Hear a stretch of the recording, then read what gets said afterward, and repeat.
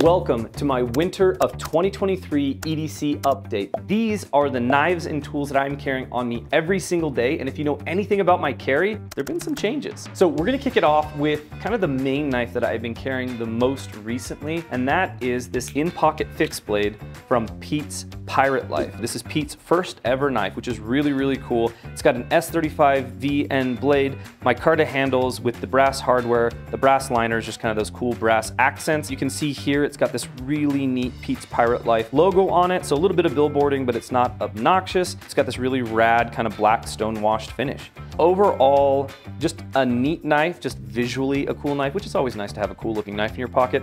Comes with a Kydex sheath and an ulti clip. So I've been carrying this primarily in pocket on my dominant side, so just in my right pocket. And it's got really nice sheath retention. It's got a really nice thumb ramp here that allows you to get the knife in and out. And I have just been crushing on this thing. So generally in the winter, I do change to carrying a fixed blade a lot more often, but this winter, this knife has just been glued to my pocket and I'm really digging it. We're actually doing a ton of fixed blade product research right now because we're getting ready to put together a best fixed blade EDC video. The only drawback to the Pete's Pirate Life fixed blade is that they're not super readily available. Pete does these on a drop model. I think there were like two drops or like one and a half drops. He recently just did a folder kind of on that drop model as well. But if you get a chance to get your hands on one of these or if another drop comes up, highly recommend this fixed blade. Out of everything that we're testing so far, I think this is probably my favorite and that's why it's been glued in my pocket. Now, if you've been watching the channel at all, you know that recently I went to a new type of pocket organizer. So I've got this Alpaka Zip Pouch Pro. I really dig the color of it. I really dig the construction of it.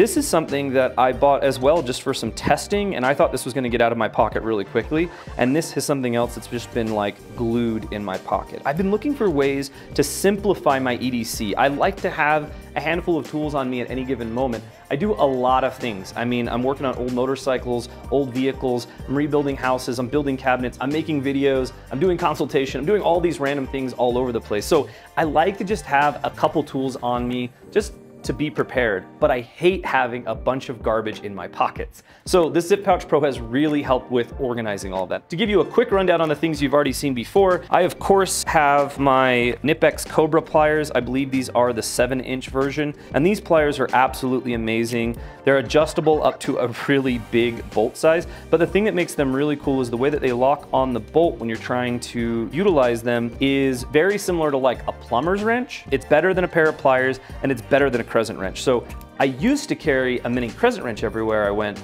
but now I'm carrying these uh, Knipex or Knipex or however you want to say it, doesn't matter to me, uh, pliers, and I'm really, really digging them. And they're like super affordable. You can grab a pair at like Lowe's, Home Depot, Amazon, wherever. Another one that you guys have seen a little bit of is this Big Idea Designs dual click pen. And you've got a titanium pocket clip, which is cool. You have the brass construction, which I really, really love.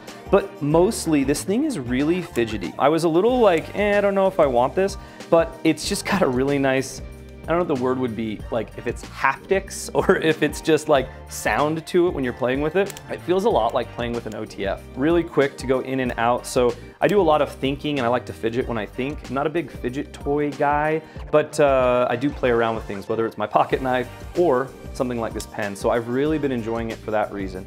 I was a little concerned about the size of it when I first started carrying it, but it turns out that the size of it actually is not prohibitive in any way. Uh, it fits my hand really well. I've got a medium-sized hand and uh, it writes really well, fits really well. Big Idea Designs, as you probably know, they make amazing stuff. So that is the pen that I've been carrying. Now here's kind of our first upset when it comes to the different gear that I've been carrying. If you know anything about me, I'm a big fan of the Victorinox Compact, and you'll see here in my other secondary tool slot, I do not have my compact on me. And that is because I am trying out this Gerber Armbar Slim Drive. So it's just, you know, really simple. It's got a locking plain blade on one side, and then it has a non-locking but full-size driver on this side. That driver is magnetic, so you've got a number two Phillips here on the end, and then you can flip that, and then you've got a number two or just like a standard size, medium standard size head.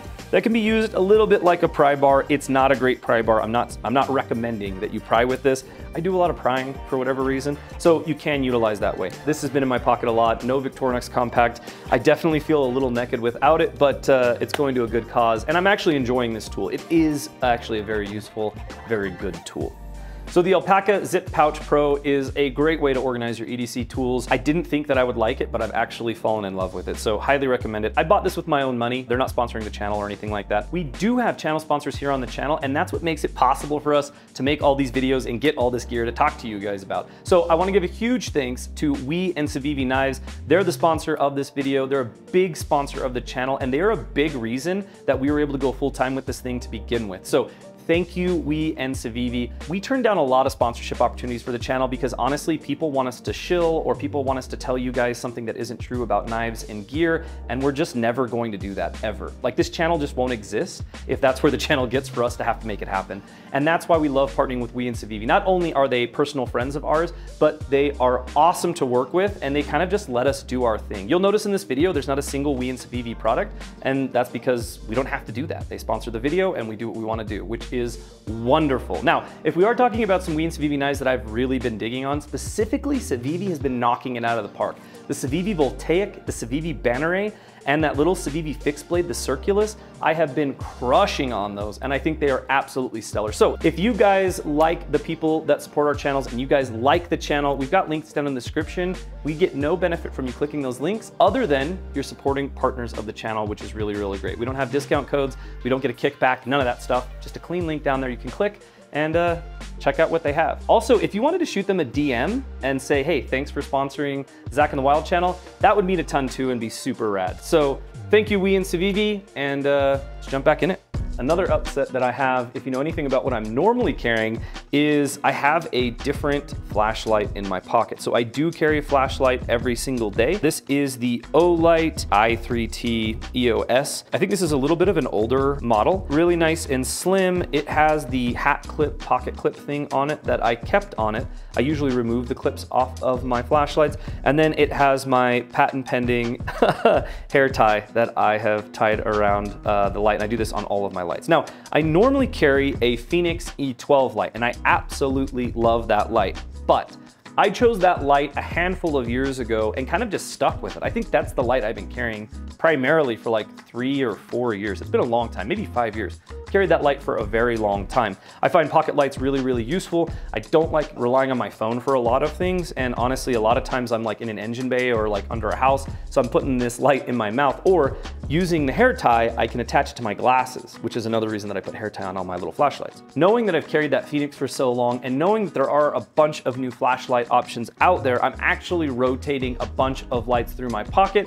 and I'll be putting together kind of what I find from that as well. Cause I've got a lot of experience with that Fenix, so I know what I like, and uh, I'm trying to find some other stuff that is comparable. I will say, uh, just, you know, spoiler alert, uh, this Olight would not dethrone my Fenix, uh, at least not for me, but I've got the Olight in my pocket. I'm trying to work through my biases so that I can find some other cool gear that's out there and uh, bring you guys that information in a future video. Another good thing for the hair tie is uh, it's really nice to have a hair tie on you because it kind of makes you the hero if somebody needs a hair tie. So a uh, little trick, I actually picked that up like in high school. I used to carry one and it would give me a reason to, to talk to girls. So there's a little, uh, a little uh, pro tip for you on that. But I thought it would be cool to show you guys a folder that when I'm not carrying my Pete's Pirate Life fixed blade is kind of the folder folder that I'm starting to gravitate to. This is a brand new carry for me, uh, but this is the CJRB Pyrite. It's just like a really great budget folding flipping knife. It does everything really well. It's got a button lock on it. It's got a thumb stud, really great action, deep carry pocket clip. The Pyrite actually has a CJRB proprietary steel, which is AR RPM 9. So it's a powdered steel, which you don't really see usually in the budget world. This particular one one is a DLC coated blade with the stainless steel handles. You can get it non-coated and you can get it with the G10 handles. Either way, you do get that uh, CJRB proprietary steel. And for 50 bucks, it's a pretty dang good deal. So The Pyrite is one that has been in my pocket recently uh, this winter, and like I said, I just kind of started carrying it, but uh, I think I'm digging it. I'm not a big stainless steel handles fan, but so many of you guys have been raving about this thing that I was like, you know what, I'm gonna throw it in my pocket, I'm gonna give it a shot. So this has been seeing a lot of pocket time uh, recently as well. Moving on from my knife, I do carry an iPhone 12 Pro Max. I got the bigger screen because I do a lot of work on the road from my phone. I'm not a big phone guy, but the reality of it is, is that our phones are very critical, important parts of our EDC. They do provide a lot of tools and a lot of entertainment. Um, I honestly try to stay off and away from my phone as much as possible, just not a big phone guy. I didn't even own a phone until like five years ago, just who I am. But with the work that I do and everything that I'm doing, a phone is essential. So I do carry this phone when I absolutely have to.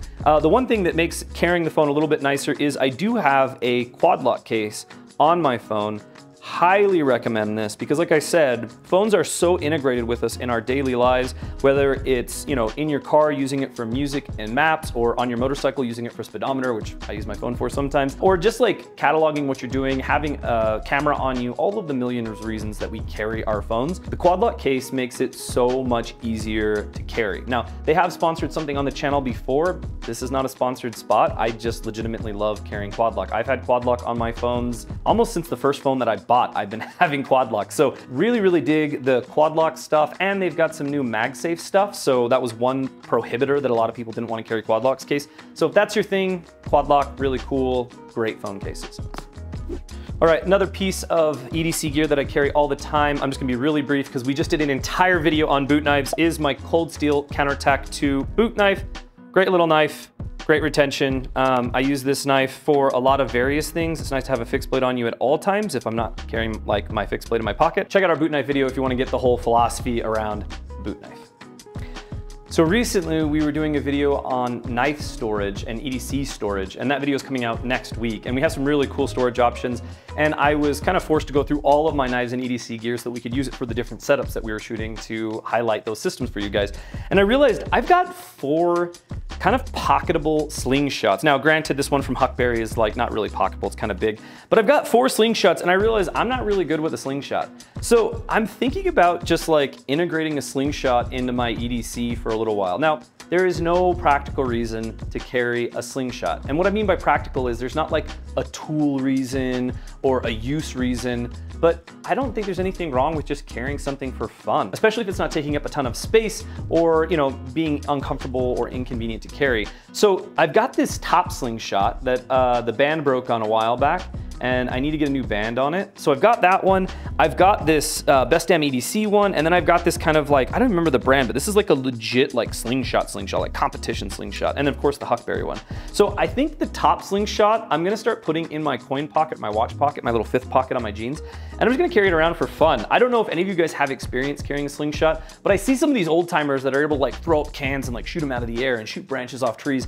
I think it's just a really cool skill and I have no problem having something that's just a fun way to pass time and like grow a skill. So considering carrying a slingshot, I think the top's one I'm gonna re-up and uh, put in my coin pocket. So I'll keep you guys kind of up to date on just carrying something for fun and uh, having some fun with it. For me, the whole EDC philosophy is about being prepared, having some tools on you, being able to help people around me, and being able to help myself when I come into different situations. So these are the things that I carry in my pockets and on my persons all the time. I would love to hear what your guys' carry is currently. I'd love to see all the cool tools, all the cool knives, everything. So leave that down in the comments. And if you guys are interested in seeing what I carry in my EDC backpack, because it is a little more varied, I do have some more things in that that I carry pretty much every single day, let me know and we could do a video on that as well. Thank you guys so much for watching. We'll catch you on the next one.